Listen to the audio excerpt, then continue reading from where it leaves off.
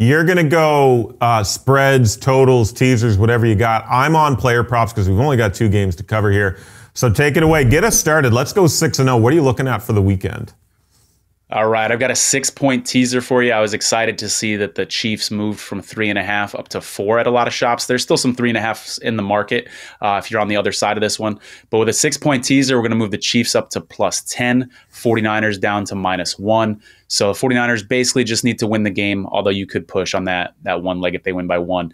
Uh, you know, this is this is Patrick Mahomes' time in the playoffs. It's difficult to see to imagine Patrick Mahomes losing by more than 10 points, so that feels pretty safe there.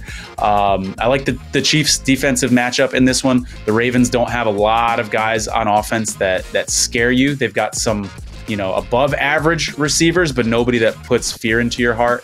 And on the 49er, in the 49ers side in that game, just like I mentioned, uh, that defensive line, I think, can give the the Lions trouble in the interior. And Jared Goff is not super mobile. So when you do get that pressure up the middle, uh, that's where you see Jared Goff start to get rattled, you know, uh, throwing interceptions, tipped passes, intentional groundings, things like that. So I'll be looking at that game for our live bettors out there too see how comfortable Jared Goff looks in that first quarter. Mm. And I mm. think that's going to tell you a lot about how the rest of the game is going to look.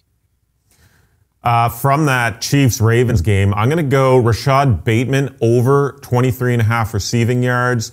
Um, some modest numbers in the divisional round, but when he was called upon, he did come through. Three targets, three catches, for 39 yards in that one. So I think Lamar might lean on him a bit more this weekend. And I like the way this is trending for Bateman and this bet, including that divisional round game. Bateman has eclipsed 23 and a half receiving yards in four of his last five games, including 54 against Miami, uh, 29 at Jacksonville, 24 against the Rams. And finally, into playoff games, teams are spreading the ball around a bit against this Chiefs defense. The Dolphins had four guys above this number on wildcard weekend. The Bills had three and would have had another if Diggs could catch the ball. So I'll be looking at Bateman to not necessarily have a big game, but contribute. I like it. I've got the 49ers here uh, over 51 against the Lions. Total score, of course.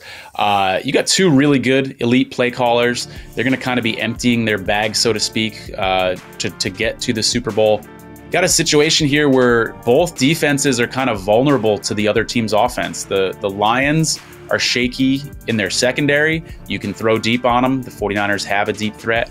Brock Purdy, people don't realize it, but he throws a lot of deep passes. And kind of the same thing with the 49ers. We saw Ambry Thomas look pretty shaky last week, uh, cringeworthy at times, kind of panicking when the ball was in the air.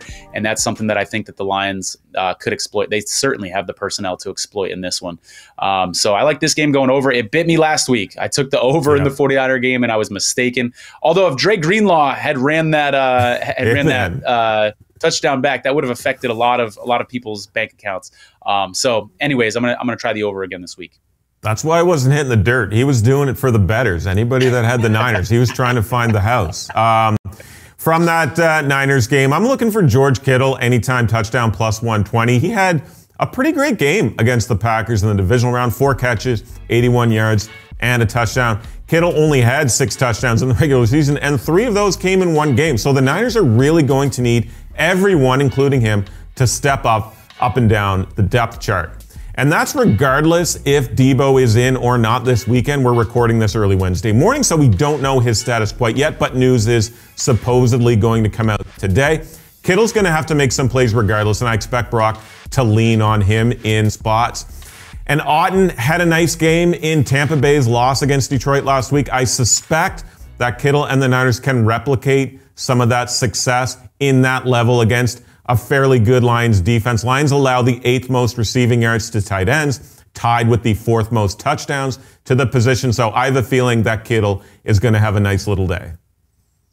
Yeah, before I give you my last pick here, I want to also throw out there people should consider Deebo Samuel under on his rushing yards prop. If he doesn't play, then obviously you're going to get your money back. The bet's going to be a no action. If he does play, I think it's going to be a situation where the 49ers are trying to protect his shoulder and they're not going to be giving him a ton of carries.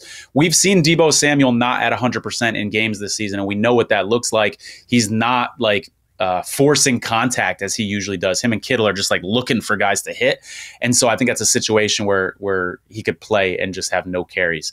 Um, so something to consider. My last pick here, uh, over 44 and a half in the AFC Championship game. I got to be honest, this is really more of a lean. I don't have as much conviction in this one as the other two. Uh, my numbers come out and say this total is about right at 44, 44 and a half. Um, but it's just a situation where my gut is saying, you know what, you've got some elite QBs um, in this game, in this playoff game. I think we're going to have some points. You got some elite kickers too, by the way. People laugh at me, I think, sometimes because I talk about kickers a lot in my handicapping, but we've seen it this weekend. You you had Jake Moody get a kick blocked you had a kicker miss a field goal. The Bills kicker miss a field goal that could have tied the game late. Kickers are important for handicapping, and you've got two of the best kickers in the league. Definitely two of the best playoff kickers uh, in the league in this one too. That matters. And uh, like I said with the last game, both coaches are going to kind of be emptying their bag. You know, Andy Reid's got some crazy trick play that we haven't seen before, and he's waiting for a third down in the third or fourth quarter to unleash that magic. And so again, slightly in here toward the over for me. Last one for me back to the NFC. I'm going CMC, Christian McCaffrey, 30 plus rushing yards in each half, minus 130. So 30 in the first half feels like a lock. This guy has been a killer in the opening half this season. 884 rushing yards on 5.7 per carry during the regular season, not to mention 11 touchdowns. So he should get that done early for the first half of that at least as a Niners fan, I'd like to think that the Niners are in control of this one as opposed to last week. So hopefully we're up late and we're in a spot in the fourth where we can kill the clock just by giving CMC the ball, more carries, eat up some yards. And the fact of the matter is that, much like against Green Bay, he's going to have to be clutch this weekend against a really good run stopping unit in Detroit. He had some big runs in the second half last week. We're going to need him again. So give me 30 plus rushing yards in both halves on Sunday for our boy CMC.